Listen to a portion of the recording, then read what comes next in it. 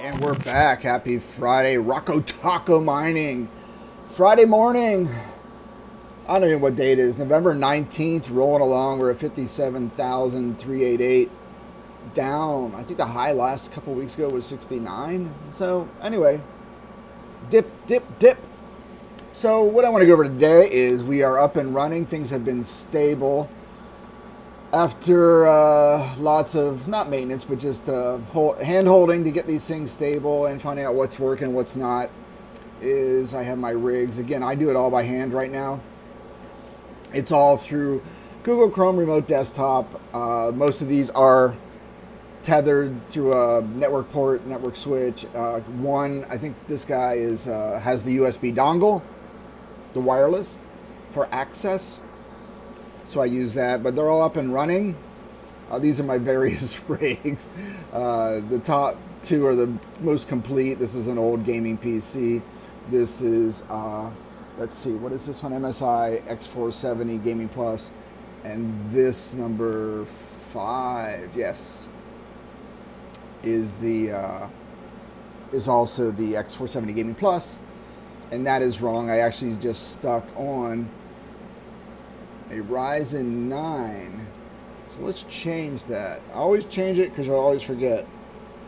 And the reason I stuck that in there, I got these before they sold out or got jacked up in prices, the Ryzen 9 for the uh, Raptoreum mining, the CPU mining. And that's, I'll show you that in another video, but it, it's working. I think I'm at 10 bucks a day on, uh, you know, I have one powerful CPU, that guy, and a couple older ones running, and uh, it, it, adds up to 10 bucks a day. I just check it's like 5 cents now, Raptoreum. So that's where I'm at on that.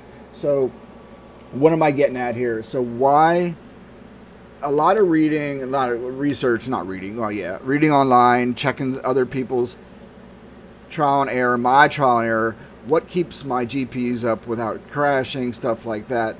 And I found a sweet spot for me because I'm not using Hive OS or um, awesome mine or whatever to monitor my stuff. I just do it old school because you know, I work from these computers and I can keep an eyeball on them.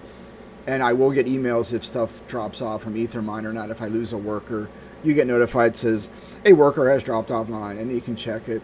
But most times I'll just eyeball this and say, oh, we're up and running, and uh, go from there.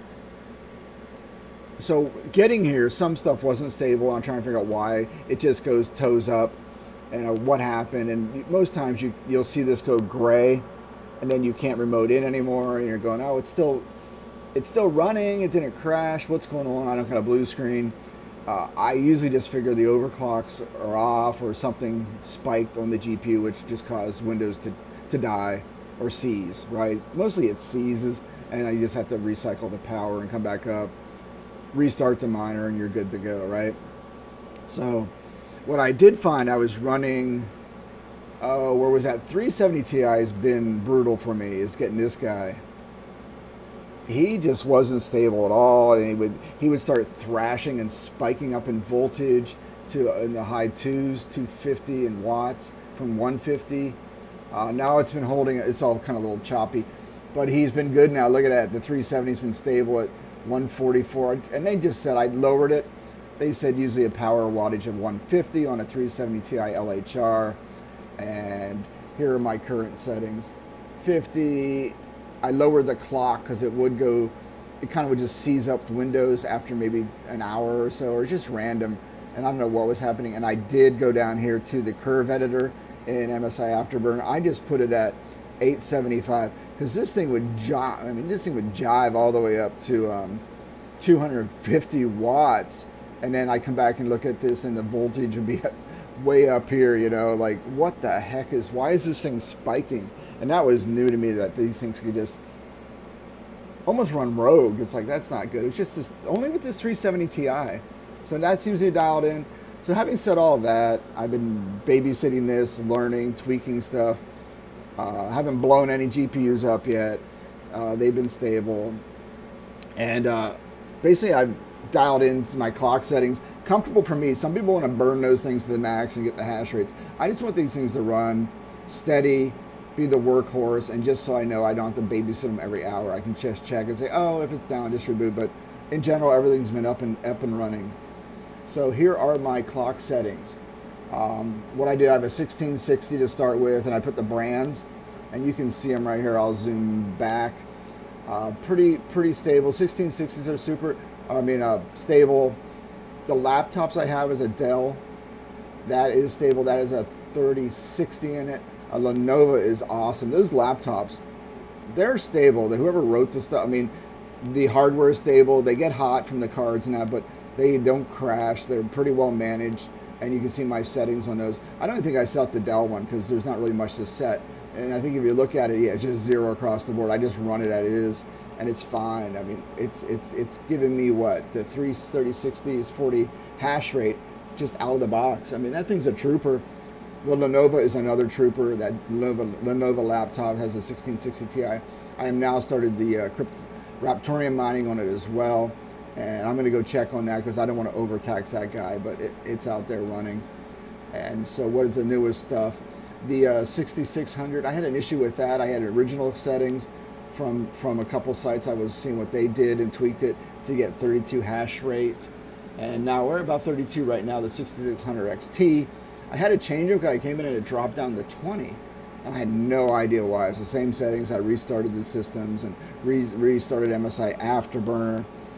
Again, it's just one of those things you just live in, you know, you observe it, you watch the trends, you see what's going on. And I just said I got to find different settings, and now it's been rock solid, stable. And I'm also, I'm also CPU mining on that, and that's right here. You can see. I just got two cards on this because this is the the uh, wood frame I built and I got two in there. I had the 3070 in there, but that thing was just while running Rogue. I stuck that thing on its own motherboard just to monitor it and isolate it so it wouldn't crash these other two. Uh, the the uh, system where these other two are running. So there you go running. This is running off um, NiceHash, Dagger Hashimoto, giving me some yummy Bitcoin. And this is the this is the actual CPU mining. And this is the Ryzen 9, the uh, 3900X, is that right? I gotta remember, man. I just, I, I get all these things confused. 3900X is running right there. So that's running. Boy, your battery sure goes quick when you're filming on an iPhone. So there's my settings. Um, I put the hash rates and I put the total mega hash. I'm about 862. My goal is 1 gigahash, but uh, I've decided to sell my 13060 Ti. I got new, it's still sealed. I wanted to see what I could get auction on eBay just to see if there's actually the resale value in GPUs and what it's like. Some of the 3080s and that you don't make money back at all. It's like they call it a brick. You, you don't break even. You probably lose money after eBay takes their fee out, their 13% tax. You get you know you're pretty much losing money. But the 3060 Ti, I've seen auctions that you get them for 500 bucks or so. People are flipping them for nine high nines. I go, that's not a bad return on investment. Uh, maybe a couple hundred bucks even after the uh, eBay tax. So that's where I'm on. I, you know, ideally, I love to plug it in and start getting some hash out of it. But I just want to recoup some money now because the bills are adding up when you start buying all this stuff. It's like anything, anything in mining, even the old days. Who makes money off of mining? Not the miners. It's the people selling the equipment, the, the picks, the shovels, the wheelbarrows, the hats, the lights, you know, the bags, the wagons. It's not the guys mining for gold. It's the actual people mining your suppliers who are making the money. Look at Nvidia. Uh, I've been watching that stock. That thing has gone to the moon. So that's all I got. I got my clock settings. Things are stable. Uh, we are rolling right along, and I don't know what else to talk about. I think this is pretty good. I want to. I want to definitely get some more GPUs eventually. I got uh, two motherboards coming. Again, I've been buying those X470 Gaming Plus Max and I think I have another Ryzen 9 coming, my second one. Uh, I do want to, like I said, sell some stuff like that 3060, use that to help pay off some of the bills on the, the CPU. And uh, I got to get some power supplies today because I just don't want to keep daisy chaining and waiting. Oh, I need this. I just got to prepare my orders better now so they all come in. And then once Thanksgiving hits, no one's going to be able to get anything. It's going to be you're going to see a supply chain massive shortage on everything, I, I suspect, from food, turkeys, uh, to Christmas gifts, Xboxes, PS5s, Digi and disc models, GPUs, of course. Other people have helped me out with their settings, so I post my settings as well. Just to show you it's stable. Some people may say burn hot, I burn harder. I don't want to. This is good for me. It's stable. It's making it's making me um, it's chewing up some resources and it's making me some coin, right? And still waiting out some payouts. Thanks for watching, and we will find this dog and take him for a walk. Where is that dog? Out.